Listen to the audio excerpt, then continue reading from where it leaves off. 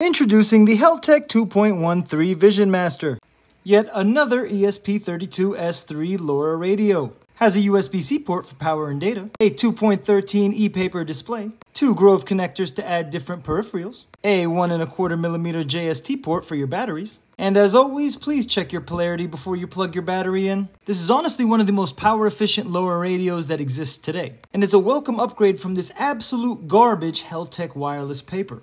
Unlike the wireless paper, this Vision Master actually does battery management very well and is one of the greatest Meshtastic devices that you can add to your Node arsenal. Some of you might be wondering why this WeAct Studio display is on this LoRa radio, and that's because when I put this up in a tree, it fell and cracked the screen. So I found another donor board and just put the screen on here. And this is a sturdy board. I mean, the boot, the reset, and the enter button are just fine, and that makes me happy.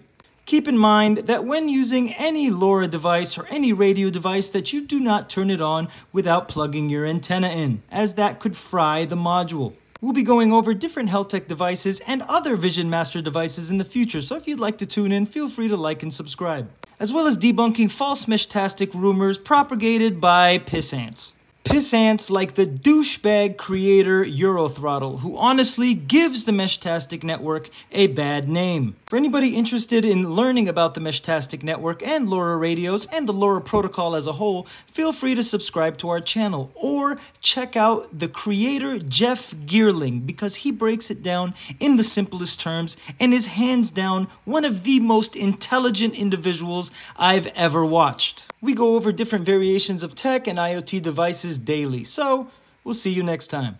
And on the off chance that this video makes it to Eurothrottle, I'm addressing you directly. You cockroach.